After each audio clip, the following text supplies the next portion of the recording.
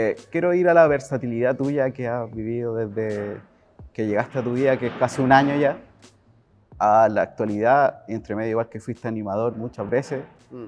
Este personaje serio, que entre comillas, que tenía un rol claro, a ser animador y ser un más juguetón en cámara, pues, por decir una palabra. Mm. ¿Cómo te lo tomaste? Como, también como fue tan repentino de un momento a otro.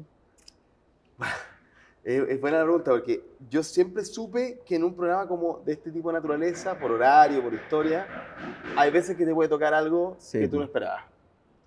No, espe- no pensé que iban a hacer tantas veces y tantas cosas distintas en un año, digamos. pero sí. Entonces, comillas, estaba preparado para el día en que me pidieran algo, Ah, ya. no preparado para lo que me pidieran, digamos. Ah, ya. Entonces, no sé, me pasó al principio, los primeros cambios fue por el verano, Eh, veníamos después de la elección presidencial, la gente estaba, el público evidentemente quería hablar menos de política, Sí, más bueno. de otras cosas. Fue como, Francesco, ¿te atreves a ir a la playa, a hacer cosas más lúdicas? Me- de que me atrevo, me atrevo, veremos en el camino cómo va. Como salga también. pues. Y no salió mal, Ya. no les fue mal a ninguna de esas notas. Pero también porque hay un equipo detrás muy bueno en Ajá. entretención, en la parte lúdica que te va fogueando. Preparando igual. pues. Claro. Ahí lo pasé muy bien. Ya. Pero después ya, desafíos mayores, como reemplazar un día a una conductora, fantástico. Reemplazar una semana, dos semanas. Se siente la presión. Porque Un estás- desafío. es un desafío. Yo nunca me paso el, el rollo de que uno es demasiado importante. No, aquí hay, hay un equipo y es el equipo el que te genera el resultado. Ujú. Pero evidentemente hay una responsabilidad mayor. Entonces al principio fue tenso, fue, wow, esta cosa es importante. Pero al rato, cuando uno lo empieza a pasar bien, Te relajáis, claro.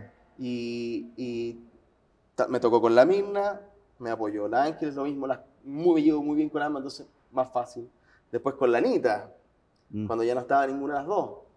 Y con la Anita, el que tenía más experiencia en ese momento era yo. Entonces, chuta, dije, Sí, yo tengo que verdad. hacer ahora el, el papel de relájate, vamos, pasémoslo bien. Consejero. consejero, y más que consejero, porque también yo también soy de los nuevos, digamos, Sí.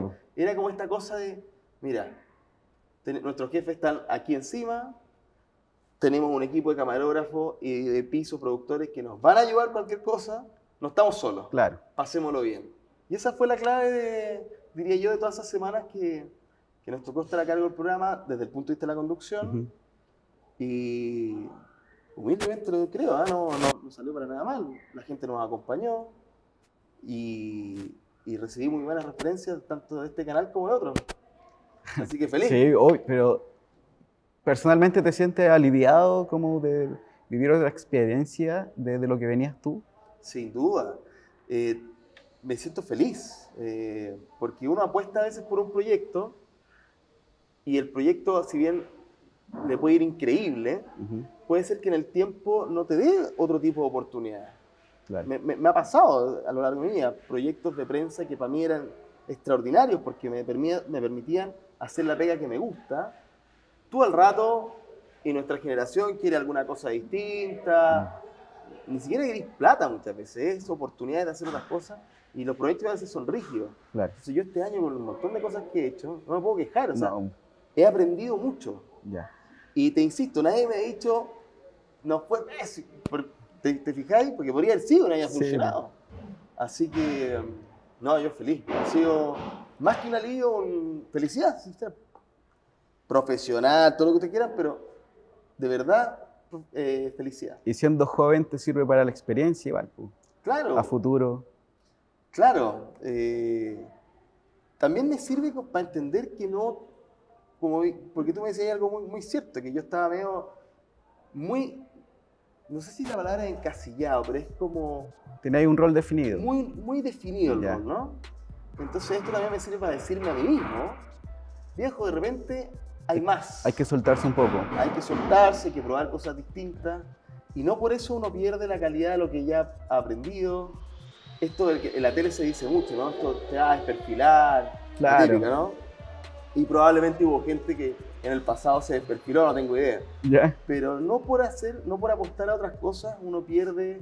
Al menos a mí me lo dice la gente que, que me saluda en la, en la calle. Uy, me gusta, un cabro joven informado. Y que también se presta para reírse. ¿Te fijáis? Es como, se puede armar una cosa. No tiene un perfil claro. No- no vas a perder algo por participar de otra cosa. Claro. en la medida que sea lo justo, lo que... Cuando uno abusa, como en cualquier trabajo, siempre la cosa se para, para el lado que uno no quiere. Claro.